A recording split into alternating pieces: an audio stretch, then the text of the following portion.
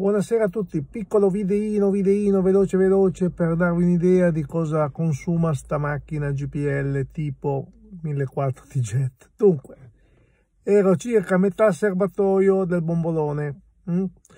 ho fatto il pieno e ho inserito, ho inserito, facendo il pieno sono stati inseriti nel serbatoio 19,58 litri di GPL ho speso 13,10 euro la cifra fa di ridere comunque 13,10 euro.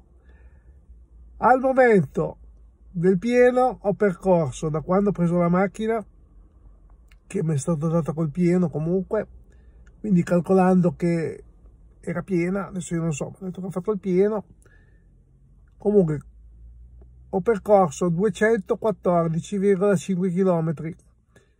La media in questo momento è praticamente di 10,95 km con un litro. Ok? Se gli stessi chilometri l'avessi percorso benzina,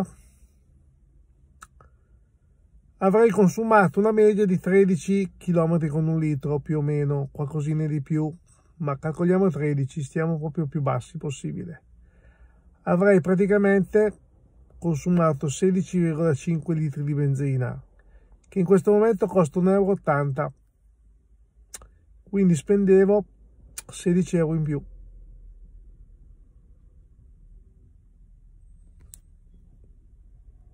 Perché andavo quasi a 29 euro. Sì, dai conti che ho fatto praticamente sì, erano 16 euro in più perché andavo a finire a 29 euro. Quindi a pari percorrenza c'è un buon 50% di risparmio, come vado io. Eh. Adesso vediamo, stabilizzandosi il GPL, l'impianto e tutto, vediamo quanto va a consumare. Preciso, ma praticamente stiamo su medie tra i 10 e gli 11 in alcuni casi fa anche i 12 quindi direi che non è male assolutamente non è assolutamente malvagio. Per cui ci aggiorniamo ai prossimi dati. Questo è un dato fresco fresco fatto dal distributore. E niente. Prossimamente farò quel famoso video sopra la lancia Y. E vi parlerò anche della Fiat 600 che ho avuto occasione finalmente di vederlo dal vero, specialmente gli interni, quelle cose lì,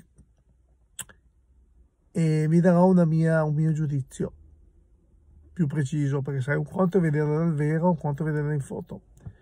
Quindi ciao a tutti.